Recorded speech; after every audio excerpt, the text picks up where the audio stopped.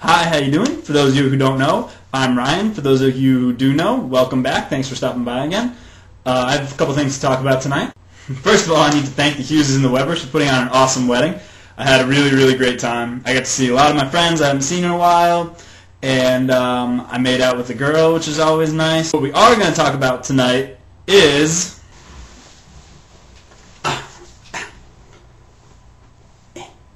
my foot. So uh, I'm sure you're all asking yourselves right now, what the hell happened to my foot? Well, it's a funny story. I'm glad you asked. So where to begin? So we begin with the personal stuff. So just recently, I got dumped by my girlfriend of a year and a half. It was a pretty serious relationship. Uh, we like lived together for a year, and uh, then she dumped me. Um, yeah, it was kind of a bummer.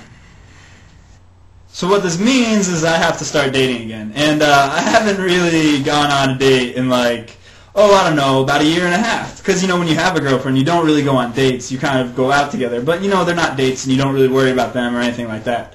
So, I need to start dating again, and I have no idea where to take a girl on a date. My friend tells me about this place in the woods to, like, it's a good place for a first date to take a girl. So, I want to go check it out. Um, but he doesn't really tell me exactly where it is. So I end up running around the woods for like four hours looking for this place. And I don't really run. The reason I don't run is sometimes when I like run too much, I get like stress fractures on my foot.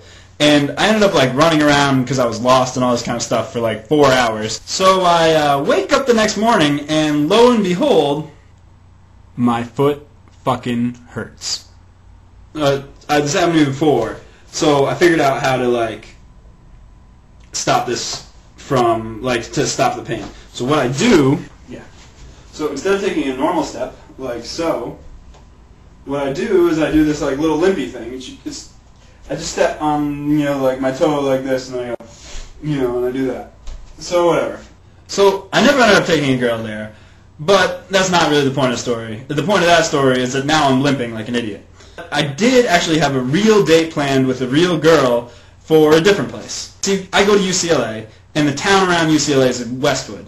But I've never actually lived in Westwood because I'm a graduate student and I try to avoid kind of the college scene at all costs. This girl mentions one time that, you know, she was interested in checking out Westwood. And, you know, so when I was trying to put together a first date, I was like, oh, this would be perfect. I'll take her out to Westwood. And, you know, it's a great place to take a girl.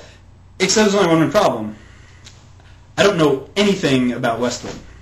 And I'm a diligent person, so I really feel the need to, like, go walk around Westwood with my hobbling foot to get prepared for this date. So while I'm doing this, I'm doing other things as well. Um, I needed to get some thank you cards because I had some people I wanted to thank. So I stop in to Rite Aid and I buy some thank you cards. And I come out of Rite Aid and I'm kind of walking around, like looking around, looking for restaurants and this kind of thing. And uh, all of a sudden, like the pavement is kind of like this. And it's like up on one side.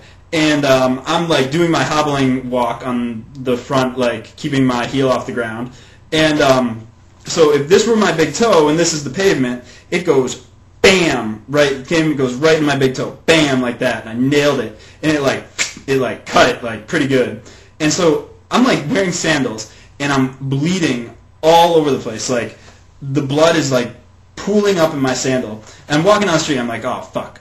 And I, I, re- I realize like there's no way that like I can like continue walking like this. I'm just tracking blood everywhere. Like I need to like you know bandage this up. And I'd just gotten out of Rite Aid, so I, uh, I decided to go back into Rite Aid and uh, grab some uh, bandage, bandages. So I'm trying to get the hell out of Rite Aid as fast as possible because I don't want everyone to notice this trail of blood that I'm like leaving through the store, and I don't want like some guy to be like, "Dude, what the hell are you doing bleeding in my store? Please get the hell out of here." So like I hobble over to the bandage section quickly as possible, and I grab two things.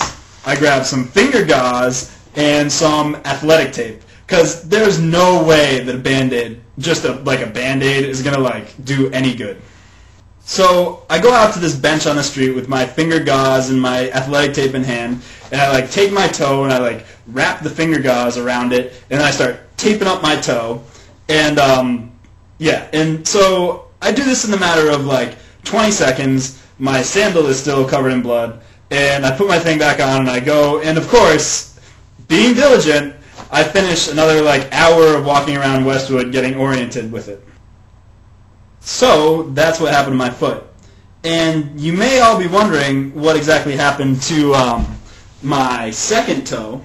Well, since I taped the first toe in a matter of 20 seconds, the tape ends up giving me a blister on my freaking second toe. And um, yeah, so then I had to put tape around that to like stop the blister from getting any worse. Dude, I don't even want to talk about it. So you may all be uh, wondering about how my second date went. Well, it was really good. She canceled on me. so I guess the point of all this is that I feel emotionally ready to date. I really do. But I don't think I'm physically ready to go on any dates.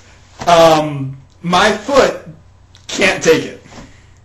Well, thanks for stopping by. I hope you enjoyed yourself.